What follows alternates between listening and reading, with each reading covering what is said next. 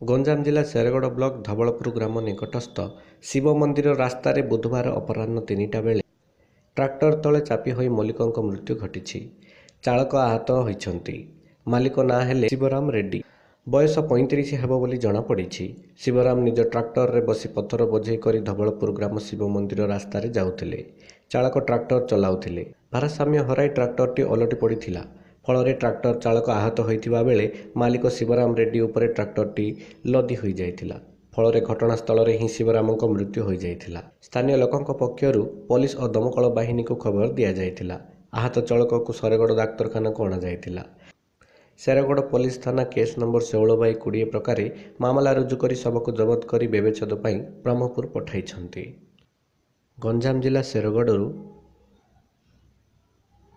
ଦେବୀପ୍ରସାଦ ଦାସଙ୍କ ରିପୋର୍ଟ ଉତ୍କଳ ଖବର।